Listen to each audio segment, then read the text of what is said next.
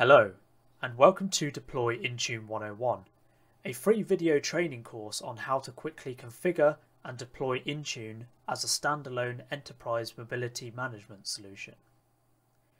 My name is Roy, and this video is brought to you by UEM Authority. Let's get started.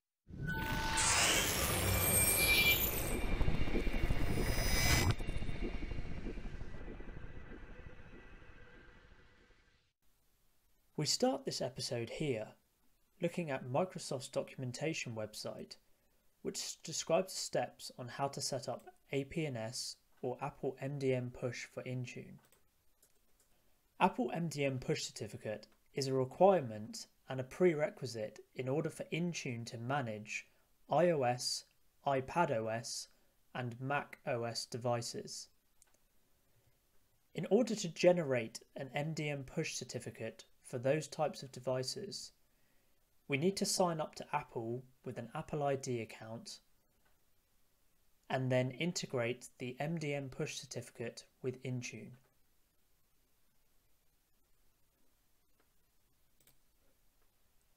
In order to integrate Apple Push Notification Service with Intune, we must first start on a specialist Apple website which is called the APNS portal. The URL for this portal is https colon forward slash forward slash identity.apple.com forward slash push cert.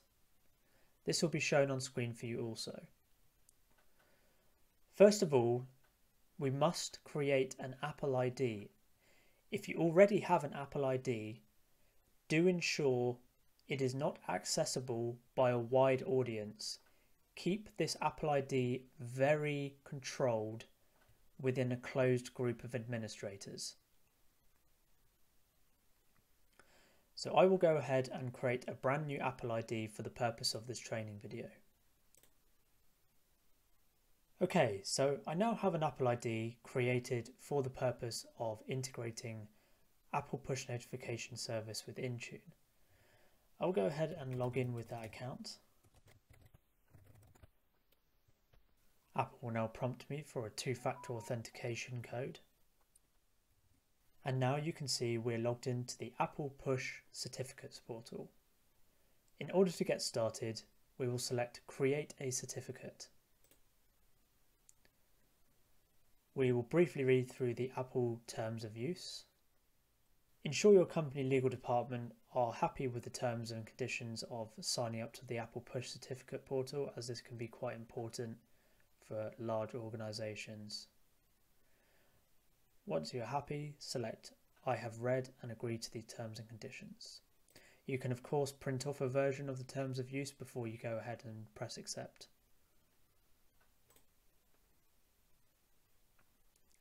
We will now move over to our Endpoint Manager or Intune portal in order to begin the process of integration.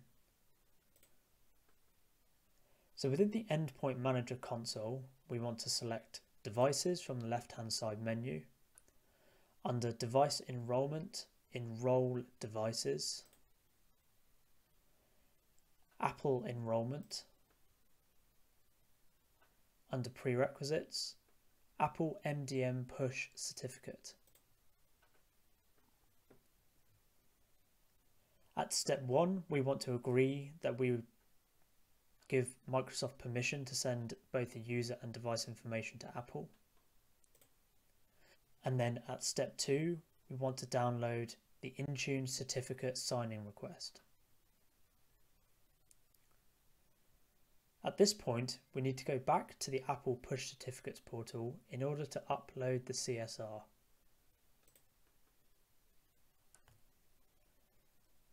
As you can see, there is a text field called Notes. The reason for this is to give an organisation an appropriate name for the MDM push certificate. This is so an organisation can recognise this as a production certificate so they are not confused as to which renewal is required after 365 days. So I will go ahead and put a basic note in here.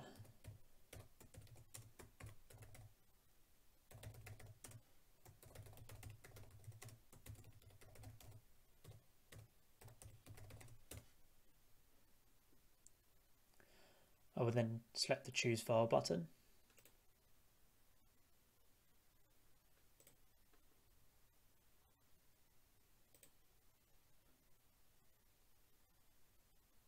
Select the Intune CSR.csr file. Select open. You can see that has now uploaded. I will press the upload button. And here we are the certificate confirmation and generation has been confirmed. And here you can see the certificate has been generated and Apple have confirmed the certificate is available for management. Rather than pressing manage certificates, we will select download. Then head back into our endpoint manager or Intune console. At step three, we have already created our MDM push certificate within the Apple push notification portal. At step four, we want to repeat the same Apple ID that we have used to generate the certificate in the Apple push certificates portal. In my instance, this is training at uemauthority.com.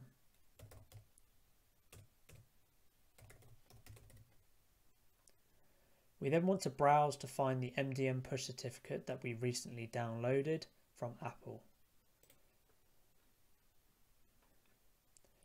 This should be in the format of a .pem or PEM file. Once you have uploaded the certificate, press upload. As you can see in the top right hand corner, uploading your MDM push certificate, your MDM push certificate was successfully created. So scrolling up in this dialog box, we can see within the Endpoint Manager console that the Apple push notification service integration has been completed. We have a status of active. The expiry or the validity of the certificate is 365 days last updated, which was today's date, and then the expiry date, which should be in one year's time, so one year from today. The Apple ID that was used to generate the certificate, a unique subject ID, and also a unique serial number has been assigned to the certificate and integration binding. Now we have integrated the prerequisite Apple MDM push certificate you will see the other services related to Apple will light up within the Endpoint Manager portal. These things are Apple Configurator, enrollment program tokens, and also enrollment types.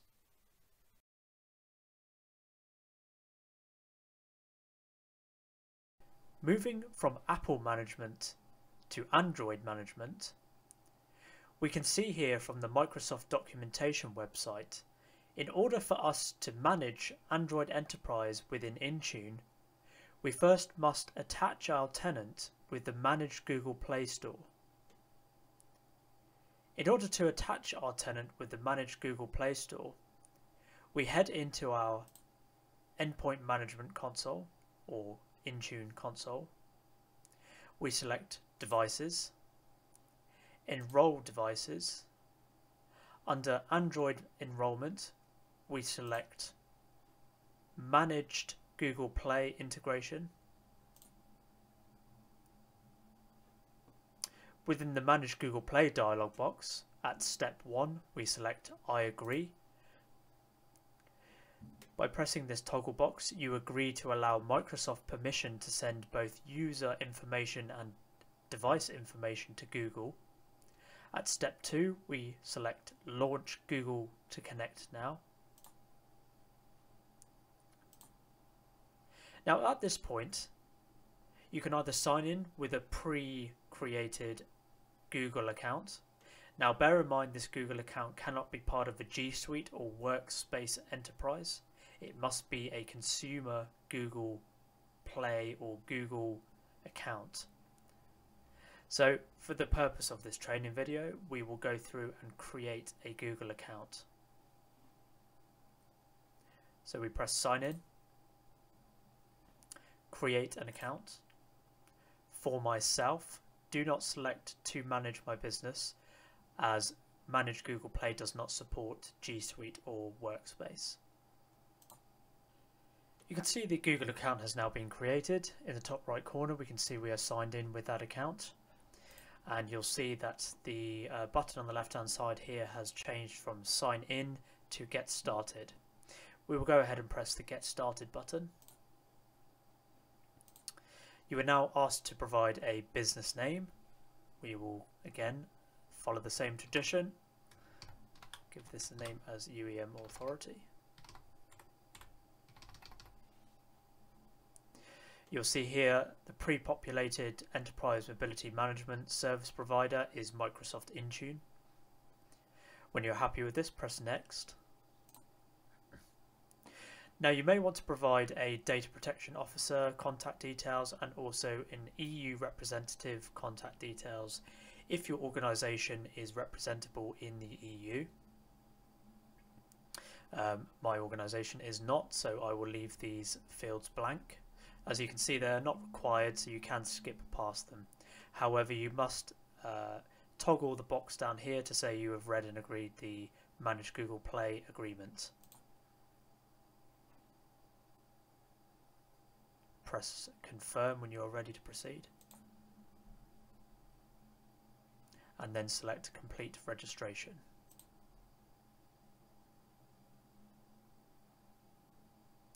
You will see in the top right hand corner in the Endpoint Manager console, Manage Google Play successfully configured. And then underneath within the dialog box, you can see status is set up, organization is UEM authority, the Google account is the um, personal Google account that I created for the purpose of this training video and the registration date is today on the 13th of May 2021. And those are the steps for integrating Manage Google Play with Endpoint Manager or Intune. Once Manage Google Play Store has been integrated with your Endpoint Manager or Intune console, you will see the enrollment profiles for Android Enterprise appear ready for configuration.